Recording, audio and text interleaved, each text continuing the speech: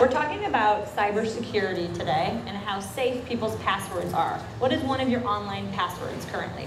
It is my dog's name and the year I graduated from high school. Oh, what kind of dog do you have? I have a Chihuahua Papillon, And what's his name? Jameson. Jameson. And where'd you go to school? Um, I went to school back in Greensburg, Pennsylvania, What school? uh, Hempfield Area Senior High School, Oh, when did you graduate? in 2009. Oh, It's like my cat's name and then just like a random number. Okay. And so you had this cat for a while? Yeah, she's my childhood pet. Aw. And what's her name? Her name is Jolie. Jolie. So like a password of yours would be Jolie and then a number. Yeah. Like number one. Uh, like my birthday, Oh, when is your birthday? uh, June uh, 95. Oh, great. So Jolie, 6, 12, 95. Yes. Got it. Do you need to give my password right now? No, I cannot do that. But we all want to know what it is so we can tell you if it's strong or not. Oh my goodness. Um, um, let me think. Okay, one is Tel Aviv. Yeah. Four, six, eight, and then Israel. It's it's only three, but it's you know it's uh, for me it's strong enough. Ireland, one, two, three, four. Gemma, one, two, three. Spelled G E M M. Super more Italian. Oh, beautiful. Yeah, so like Like, what's a good Italian password? uh, my grandma's name, What's your grandma's name? uh, Maria.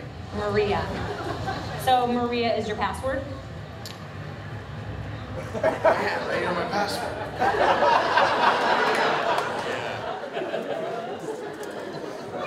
Now, like this is highly amusing, right? Make no doubt about it. But what's kind of interesting is the way the reporter sort of socially engineers the victims.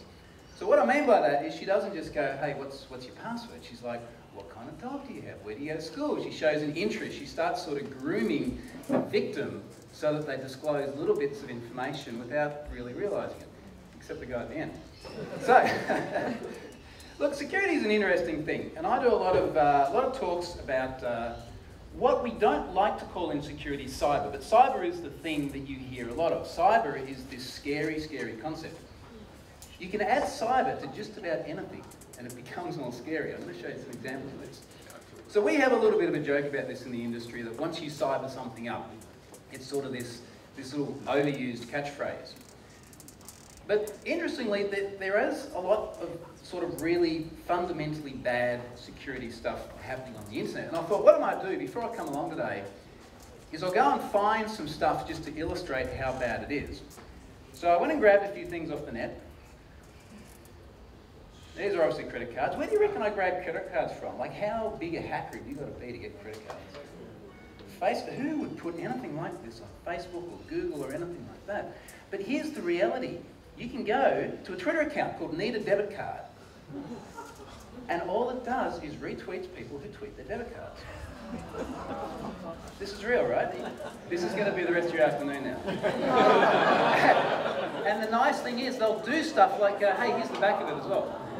Because then you got the CVV, right? For the card not present purchases. You know when you go on the internet, it says what's your code? Often that's on the back. Uh, so that's handy, that makes life really easy. Huge amounts of entertainment there. And the thing is, like, this account tweets it, and normally straight after that, people delete them because they suddenly go, oh shit, what have I done? you know, all these people are suddenly saying, get your card off the internet.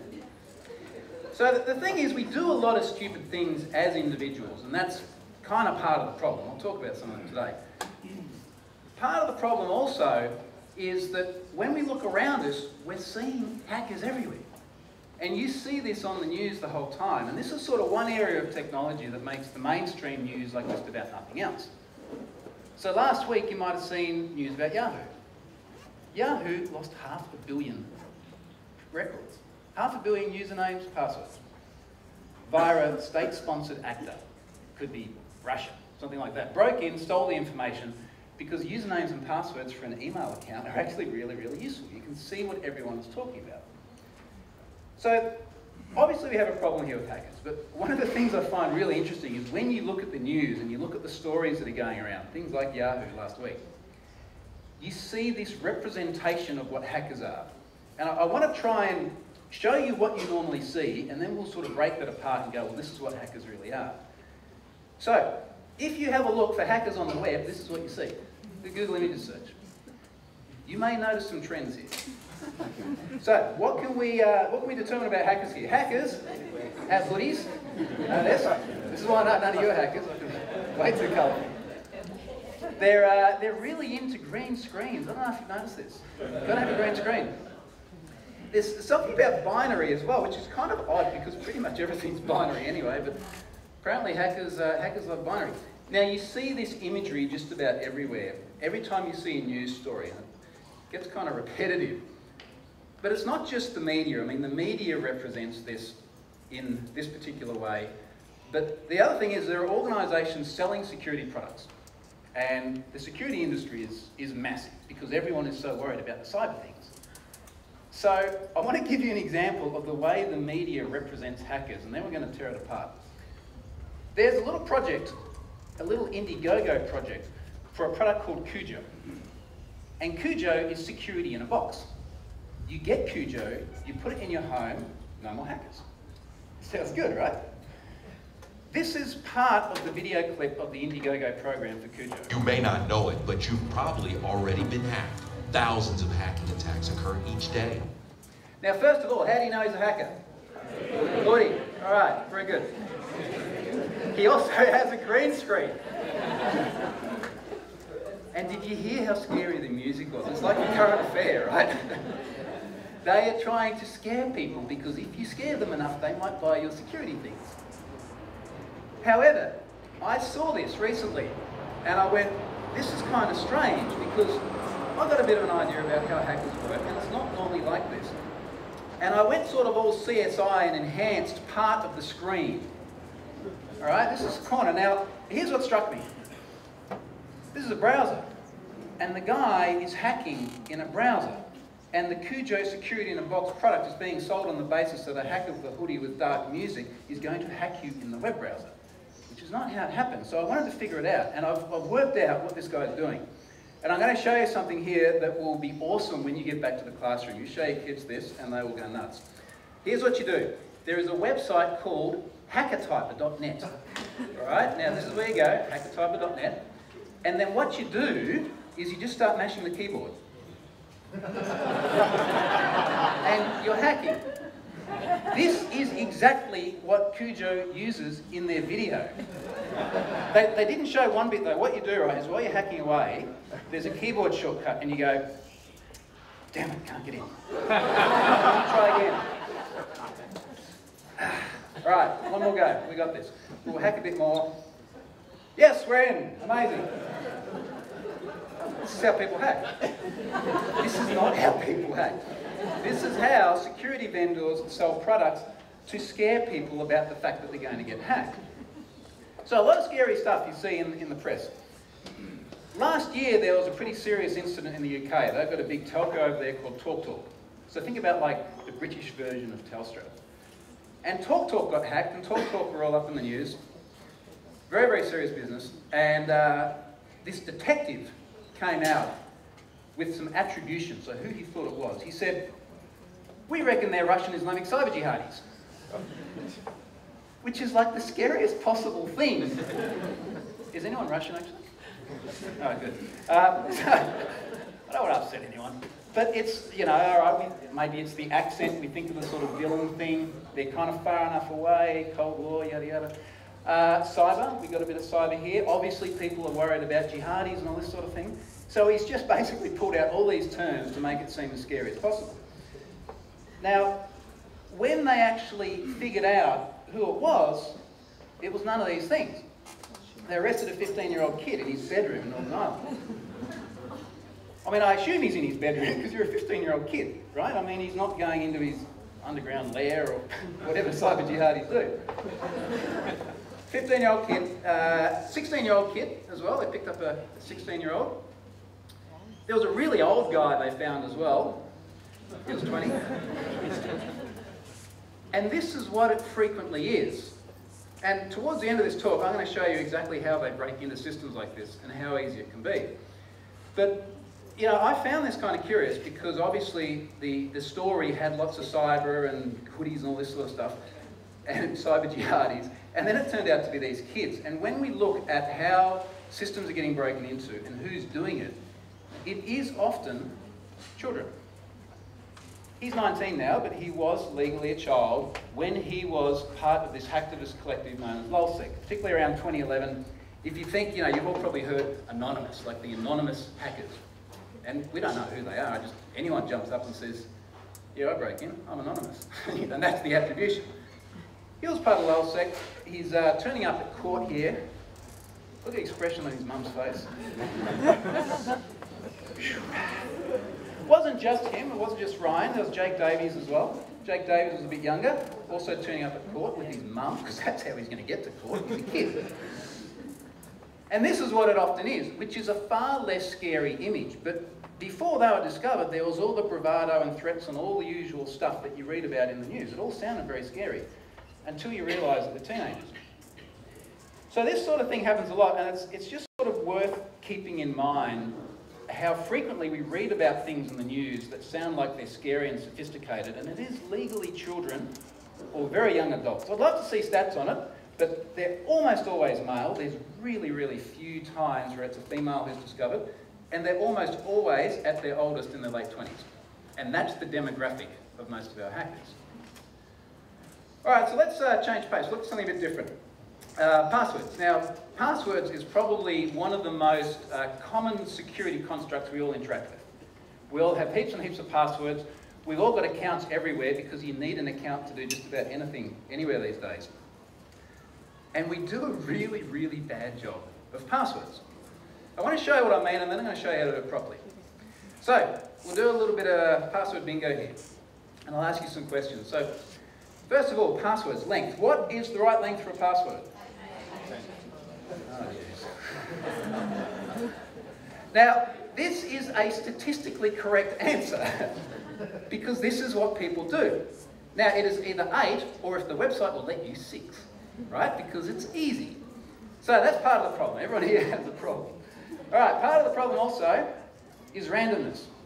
How do you choose a password?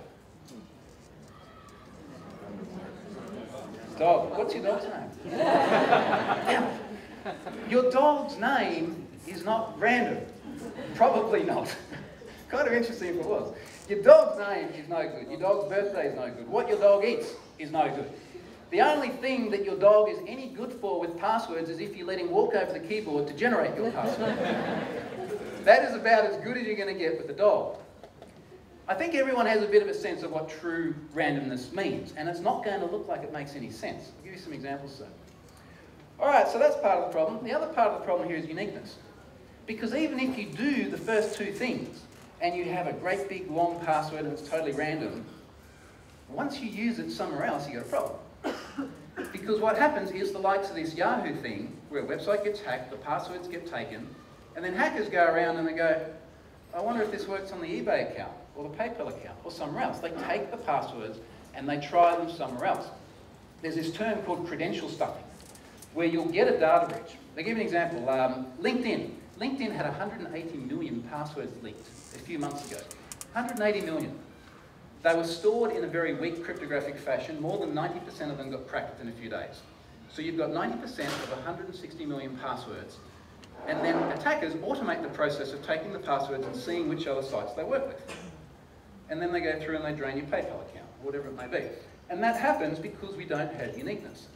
So people are really struggling with these three attributes. And what that then leads us to is this issue around memorability. Because the thing is, in order to remember the password, people compromise on the other three things. Because people think they need to remember the password, which is the problem. Who here actually has long, random, unique passwords that they remember? One guy. Now, I've seen you before. I think you're this guy just here. Right? Because that's the only way it's going to work. You cannot remember every one of your passwords that's long, unique, and random. Now, have a think about how many passwords you probably have. Not just the ones that you think are really important, but the throwaway ones that you use because you wanted to leave a comment on the news site or something like that. It's probably not dozens, it's probably hundreds if you think back long enough. So we've got a huge number of these passwords. And really the only way we can manage these passwords and keep them unique and long and random and all this sort of stuff is to use a password manager. Does anyone use a password manager? What do you use out of interest? One password? Okay. One password. All right, so there's a few. This is not total news to everybody. So just so you all know, this is a password manager. This is one called 1Password. I like this one. There are other ones such as LastPass. And the whole premise of a password manager is that you put all of your passwords in one place, which worries some people, but you put them all in one place and then you protect them with a master password. So the reason it's called 1Password is that the one password you have is the master password. And that one has to be a really good one because if it's not, you might have a problem. It's so good I get it wrong.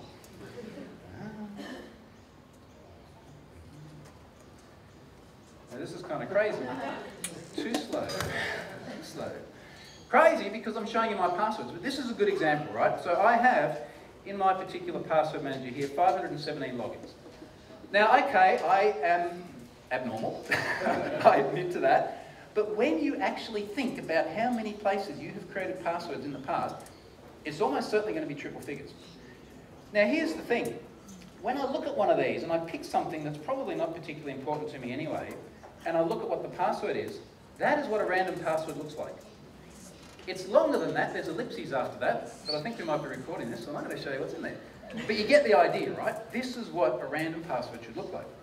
So if you don't have a password manager already, seriously have a think about 1Password being my favorite. It works, the reason I like it, it works on my PC, it works on my iThings, it works on everything. And it all synchronizes and it all keeps things nice and secure. If you don't do that, you are making compromises somewhere or other. And uh, compromises when it comes to security is not a real good thing. All right, so that's passwords. I want to show you something a little bit different, and it's good for an audience like this because we've all got a lot of these sort of things, right? Everyone's got iPhone. How many people here have got Windows phones? Yeah. That's not right. Hey. Now, having, like I do a lot of Microsofty stuff. I have an Apple Watch and I have an iPad and an iPhone because they're good stuff. They're also really easy to hijack. I'm going to show you how to do that in just a moment. Let me give you a little intro first. Uh, this is Betsy. And uh, Betsy's going to tell you a little bit about Wi-Fi security. There she goes. I found lots of just like numbers and like signs just all together, which really doesn't quite make sense. But then when you go get into it, you'll get it and it'll like it'll come clear to you. Betsy set up her computer to pretend to be the Wi-Fi hotspot, as it were, in the cafe. So when uh, the victim connected, um, they actually connected to her computer, and it was that way that um, all of their data went through her computer, and she was able to see usernames and passwords and that kind of thing. Um, and it's known as a man-in-the-middle attack. All right, so the, the Betsy thing is interesting because on the one hand, it is very trivial to do, and we'll do this in a moment. On the other hand, I do feel it's a little bit, a little bit contrived, uh, not so much because of the passwords and the Wi-Fi and everything, but she's sitting there drinking coffee, which struck me as unusual. Uh, she's, she's also using a tool called Wireshark, which is like a really full-on low-level packet inspection that any technology professional looks at and go, I got no idea. like, this is confusing stuff. But anyway, so Betsy's hijacking Wi-Fi. Now what I'm going to do is I'm going to just turn a couple of things on here. and We might, we might sort of see if we can do what Betsy's been doing. Uh, out of curiosity, while this fire's up, who here connects to public Wi-Fi? It's because it'd be easier to go the other way around, and then some people might lie and put their hand up. But the reality of it is, we all connect to public Wi-Fi because we need connectivity. And it's kind of crazy because a lot of the time we have like 4G. We've got pretty good connection speeds in Australia, at least for our wireless um, um, cellular networks. But particularly if we travel, you know, you're in an airport, you want connection, you might want to go to a cafe and work for a bit, you want a connection. I want to show you how easy it is to hijack these connections. So part of the reason I've got so much stuff up here on the stage is I've got this little device here. Now, uh, as you can see, this is a pineapple. And this is what it's called. It's called a Wi-Fi pineapple. You buy this off the net for a couple of hundred bucks. And what it does is a few little neat Wi-Fi tricks. Now, you know how when you go home today some sort of magic will happen and then you will be on the Wi-Fi. And then you go back to your office and there'll be more magic. And it's like, how does this magic happen? It's not magic, it's science. And the way the science works is that our devices send what is called probe requests to known networks. So you know you connect to a network, a lot of devices will just auto-remember it, a lot of the iThings will auto-remember it. Other times you tick the box and say, yes, remember this network. It works by your device sending out signals. For anyone turning off your Wi-Fi now, don't, because it's going to be much less interesting if you do. All right, so here's what we'll do. This is the administration interface for the Wi-Fi Pineapple. And what my little device here has been doing is it's been looking at your devices. So I can now go down to PineAP here, and what we're seeing over here is all of the network names that you guys have been broadcasting. We'll scroll in a little bit on that. So you may recognise some of these. now, I'm going to turn a few things on while we're doing this because this will make it all a lot more interesting. So as we spin through here, and we'll just take a little bit of an example here, we might see things like someone's been connected to Travis Marshall's iPad. No, there might be a Travis Marshall here. There might, might be a Dr. Lou. Now these are network names, right? So your devices have been looking for networks with these names because if it can see it, it wants to connect. It wants to do this sort of automagic thing. So this is quite interesting. And all I've done here with the configuration is I've just said, let's capture all of these SSIDs into the pool, but let's also broadcast them back out. So if you pull out your device and you have a look at your network names, you might see rather a lot of strange network names being broadcast. Right? Depending on your device. Different devices work in different ways. Now, what will happen is when these network names get rebroadcast, occasionally there'll be a device out there which sees the network name and says, hey, this is good. This is what I was looking for. I wanted this network. Let's connect to it. And here are the people that are connecting. So for example, um, Paula. Paula? Here's Paula. So Paula is uh, presently connected to my device. Uh, Dion, Dion's giant. Is there a giant one now? What have I been missing? His badge even says it, Dion. So let's sort of walk through what this actually means. Dion is connected to my Wi-Fi Pineapple. That means his traffic is going through there. That means I own his traffic, metaphorically. Now, what can I do with that? Uh, if the traffic is not encrypted, I can read any of the passwords that he sends. I can look at any of the information that comes back over the connection. If the, if the connection is connected, so you know you go to a website, there's a little HTTPS on the address bar, you a little padlock, that's what we want. I can't do anything with that. What about, say, uh, if you go and read the local news? Is that normally encrypted? Do you have an HTTPS? Do you have a padlock? If you go and read the Gold Coast Bulletin or something, you, you don't. Because they say, well, it's nothing sensitive, right? But if I control the traffic and I can get that request to the Gold Coast Bulletin and I can insert a little social login on it. So when it loads on Dion's iPad, it comes up and it says, you need to log into Facebook to read this. A lot of people will do that. A lot of people will put in their Facebook username and password, and now I have it. So what it actually means as an industry is we're sort of trying to move towards everything encrypted always, because this sort of stuff happens. And a lot of this has happened since Edward Snowden, and we know the NSA is sticking their noses into everything, uh, and we realise that we have to better protect our networks. Just before I kill this, let's see if anyone else is connected, just for curiosity. Who else have we got here? And so here's one. So Dion actually thinks he is connected to MacBook Connors. So that's the SSID that you're seeing on your device. Yeah, awesome. Thank you very much. Uh, Paula thinks that she's connected to Yes Optus. Uh, there's Kate up here as well. Mrs. Harvey. Now, see, this is interesting because Mrs. Harvey has connected to Yay free Wi-Fi. I don't think Mrs. Harvey has seen Yay free Wi-Fi before because I set that up especially here on my machine. And this is a perfect example of people see a Wi-Fi network and they literally go, yay, I'm, I'm into it.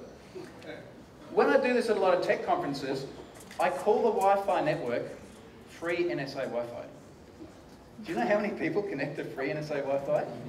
Because what do you reckon they see when they're looking at the names? Free. Free. Okay, last thing on this, and I'm going to connect this device so we don't upset anyone, because sometimes people don't like their devices being hijacked. Last thing on this is that if you are using free Wi-Fi, go and get a VPN. So this is a VPN. This is a product called Freedome. Uh, it's made by a Finnish company called F-Secure. I hit the big protection button in the middle and I get encryption from my device before it goes out over the air, all the way through the internet, all the way through to one of Freedome's exit nodes. So I get encryption through to their service in Melbourne and then it goes out over the internet. So I get protected from people like me, uh, rogue cafe hotspots, uh, dodgy ISPs, all this sort of thing. So VPNs are pretty good news. You definitely want to have one of those if you're traveling and connected to untrustworthy Wi-Fi. Okay, so continuing the theme of let's just see how much we can scare everyone. Uh, what do you reckon this is? Now, yes, it is, is a beer, a little bit more information. Uh, this is actually a beer control system. So this is a system which controls beer. And what we're actually looking at is a control system that's publicly exposed over the internet. So here's the thing. Whether you're brewing beer or running a water filtration plant or a nuclear power plant, you have computers that run them. Because convenience, a lot of these computers face the internet and they're discoverable. So what we've done here is found a publicly facing brewery and you might notice right up the top left, under those boxes, is a really key couple of words here. Authentication disabled. This is a publicly facing brewery that anyone can log into and start pushing buttons and doing things. This one lets you rent bikes. Stony Brook University. Um, this is actually an interface which is then virtualized and available publicly. This one's a bus, looks like a German bus. There's, I think there's something wrong with the back wheel there, but that's a German bus. Uh, this is a taxi somewhere else, somewhere with Euros. I like this one, this is super yacht. What do you reckon you'd do if you got access to the control system of super yacht? Would you hit the recipe button or the engines? you know? Alarms, we've got running lights, anchor lights. I like this one, hydro massage.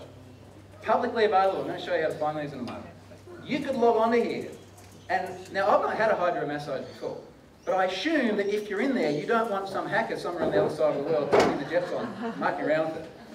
It doesn't seem very relaxing. Composter.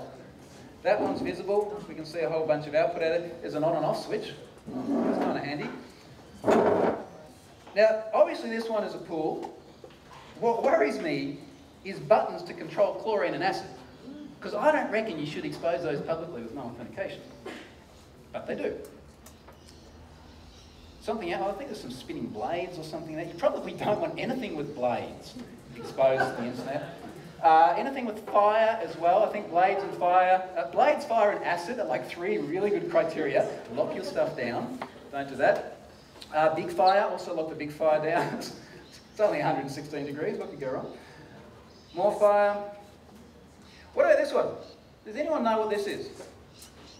I'll give you a moment because this is a good, good little trivia thing. See if you can figure out what this thing is that you can control.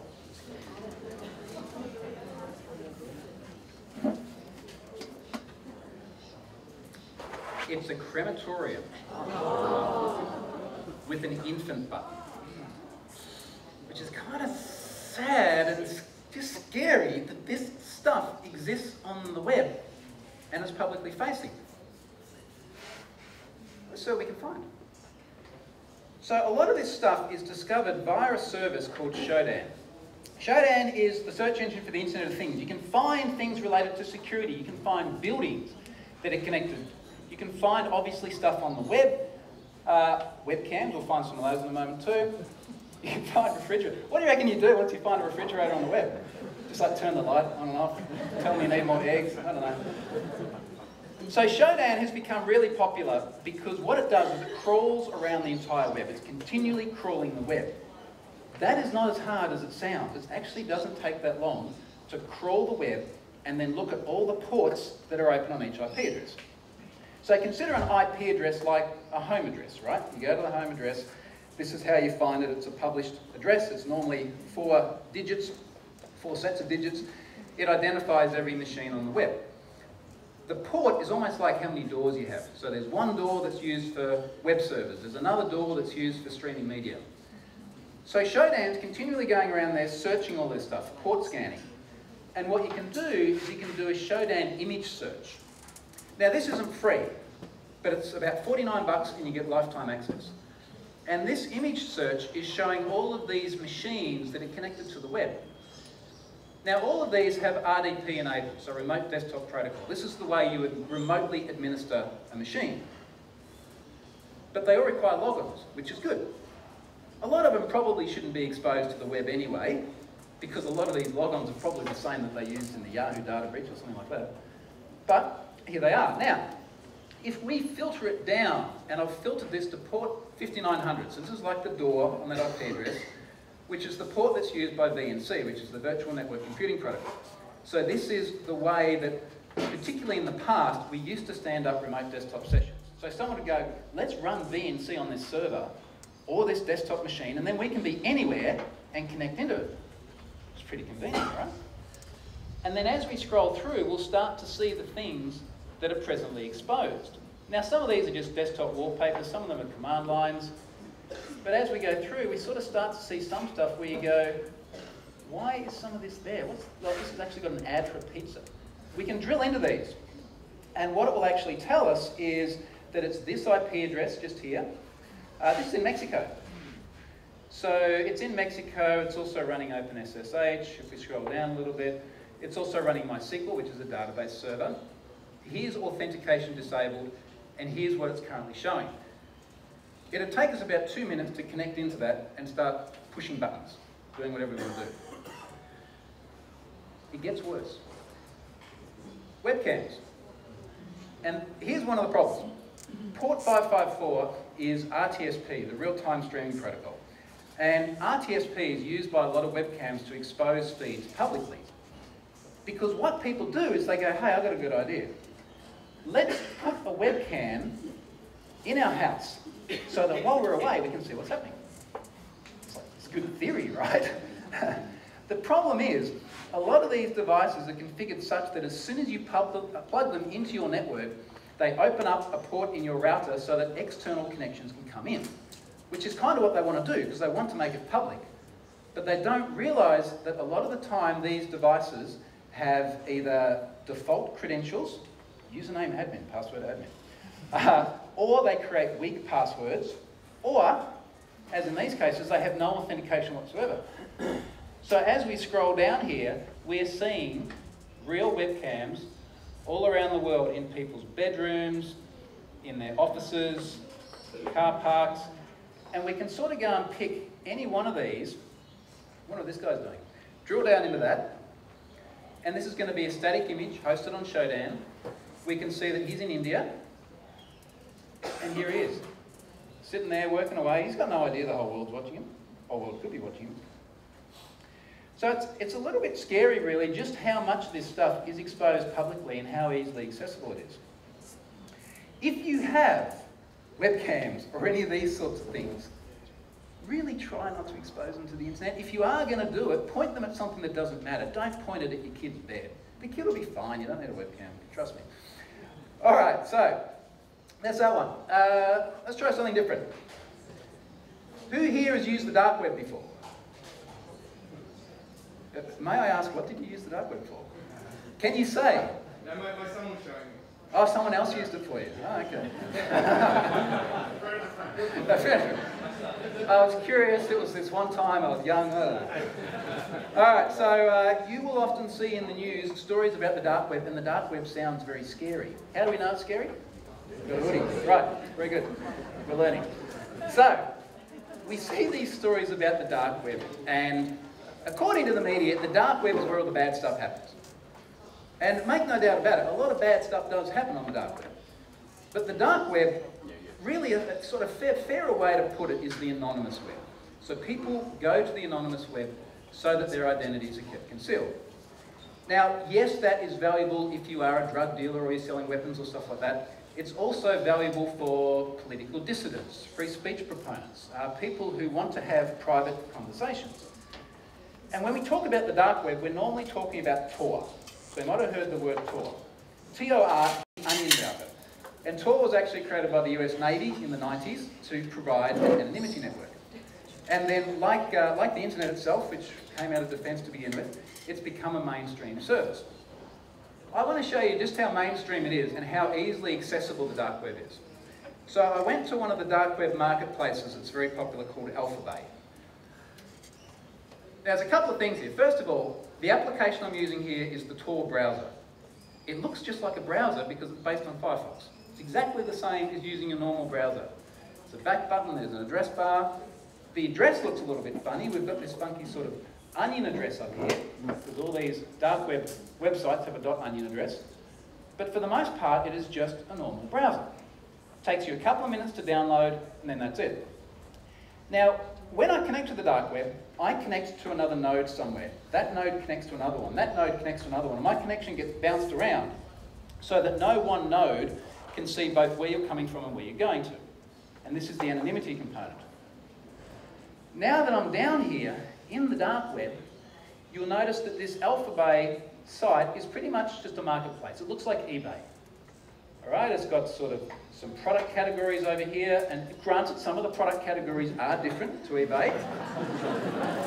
Uh, but what I'm trying to get across here is just how mainstream and, and otherwise normal a dark web website is. If we drill down into something like drugs, this is a hell of a marketplace. There is a lot of stuff on here. And when we look around here, we can see all sorts of things that you've probably, probably only heard of, uh, and a bunch of things that I've never heard of. We can drill down further. So we might drill down, in this case, uh, into meth. Uh, there's a seller here. Uh, this guy is he's, he's, a very convenient service. He ships Australia-wide. Um, his name is Oz Connection. It's like an eBay seller, right? Oz Connection is a good bloke. He's got a good trust level. because dark webs, more so than anything else, depend on reputation. Because there's no recourse. It's like you don't go to the ACCC and go, hey, I bought this meth the other day and it's crap. you know, so, so they rely on the credibility that they establish over a period of time. And as we drill down into this guy, we can see that there's a lot of positive feedback. This is 99% positive. If you were going to buy meth, don't buy meth, there's a kid here, I'm aware of this. If you were, if you were going to buy meth, you'd go to someone with a really positive reputation. And that the story here is just, just how like weirdly mainstream this is. And even as we scroll down, it's a good bloke. Free postage as well when you buy your meth. What should really strike you here is just how normal this is and how easy it was to access. Now, a lot of people get caught doing this as well. So just in case you had just that moment, just that a lot of people get caught. Sites like this can go on for years before they're discovered because the site itself is on the dark web. It's hard to find. You may have heard of a site that was very big in the news a few years ago called the Silk Road. The Silk Road ran for years. They turned tens of millions of dollars through this particular online drug market. Eventually they found it, shut it down, and the guy's in jail for the rest of his life. So it didn't work out so great for him. But this is the dark web, and the dark web is alarmingly easy to get to. Okay, let's go on to something else. And we know he's a hacker, first of all. I'll make that point in case it hasn't sunk in by now. I want to talk about one of the techniques that hackers use that is really, really effective, and then I want to show you how easy it is.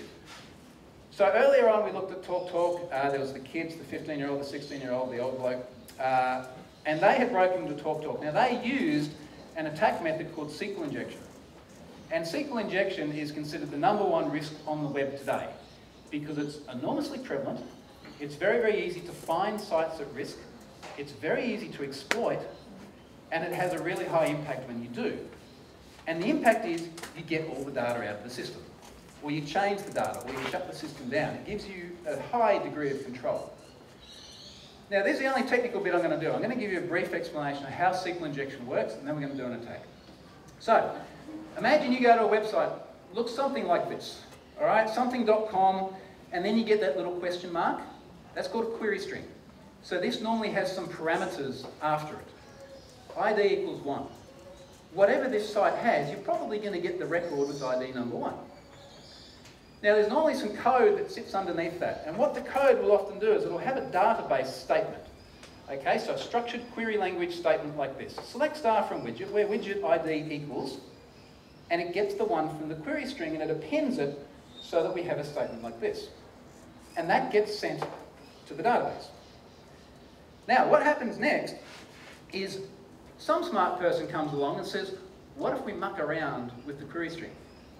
So what if instead of just ID equals 1, I put a semicolon, that terminates the statement, and then I say drop table widget. That does pretty much what it sounds like it's going to do, because then you get a statement like this. And what that statement there is going to do is it's just going to drop the table out of the database, It's gone. There are other statements which will return all the usernames and passwords, return everything else. So it's an enormously powerful attack. You guys now know more about how SQL injection works than a lot of people who actually break into systems using SQL injection. And I want to show you how easy it is. So I got a volunteer. Can I have my volunteer, please? All right, come on up. Yay! Okay, now, was Gemma. Jenna, and how old are you? Oh, good. So you're not yet an adult. You can't be tried as one for hacking, which is uh, that was really thank you, Kathy. That was perfect. Okay, so here's what we're going to do. I'm going to get you to come over here to this website. Now, I'm going to stand away from the machine so it's clear that I, who can be tried as an adult, am not doing anything. Well, uh, Jenna actually goes through and does the hacking. Now, this website is one that I created specifically to train software developers about security vulnerabilities. So we can hack. It's okay. Don't worry. You're not going to get a job. So what I'm going to get you to do is take the mouse and I'm going to get you to scroll down the page a little bit. And this is a website that lists supercars. And we can see there's a bunch of, uh, bunch of manufacturers here. We've got Nissans, McLarens, Paganis. Uh, so Jenna, just uh, choose the manufacturer that you like the most. And we'll, uh, we'll pick one here. Nissans, very good. Excellent. Okay, so what is happening now might be a little bit small for the people in the back, but in the URL, there is a query string. So I'm going to get you just to copy the entire URL onto the clipboard. And she is about halfway through having hacked the site now. You may not know this when you copy a URL. I'm going to get you now just to click on the little carrot icon down in the taskbar. Now that's off to the right a couple. That's the one, carrot. It's very uh, non-threatening, hacking the carrot program. This is software called Havij. It's free online software. You can now, in that target box, replace what is in the target box with what you have on your clipboard. So you're just going to take that out, and now we have that URL. We're getting close. Let's click the Analyze button just to the right of it.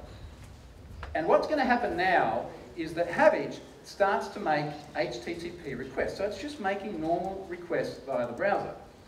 Except it's not kind of normal, it's like request with malformed things at the end to try and get the system to do things that it's not meant to do.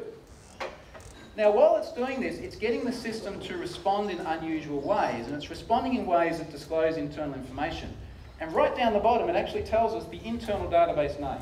This database is called hackyourselffirst underscore DB. This is internal information. You shouldn't be able to discover this. All right, now what Jenna's going to do is we want to start getting tables out of the system. So she's going to hit that little tables button, and then there's a get tables button just underneath it. And now it's going to find all the tables that exist in the system. Here they come. This is all internal information. We're going to let that load. And most databases will have anywhere from half a dozen tables to many hundreds of tables. And this is probably the harder bit of the hacking, Jenna, because what you've got to do is decide what looks like the juiciest table in there that you want to get data out of. What about you guys? What, what would you choose out of these tables? User profile, the, the masses have spoken. Shall we get user profile? So we'll click the little checkbox next to user profile. Now let's get the columns out of that table. So there's another button there that says get columns. So now it's going through, it's making more requests, and it's actually querying the database schema, so how the database is structured, to come and spit all the data back out so that we know exactly what it looks like. Now, what do we reckon would be juicy in there? What would we want to get out of the user profile table? Email and password? That sounds good. Do you want to get email and password? See, I mean, you can figure the rest of this out yourself. this is how easy it is. Now, what are we going to do next? Oh, you, you, I saw you go straight to get data. You sure you haven't done this before? the, the correct answer is no. All right, and here we go. So now what's going to happen is we're starting to get email addresses and passwords and Jenna has now hacked the system. So a big round of applause. Well done.